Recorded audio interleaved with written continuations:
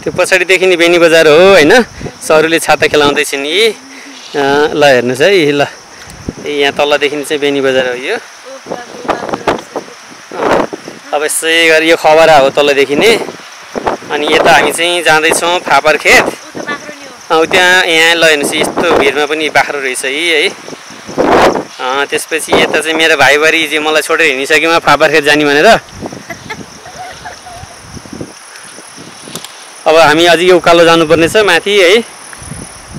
त्यसपछि फापर खेत पुगिन्छ।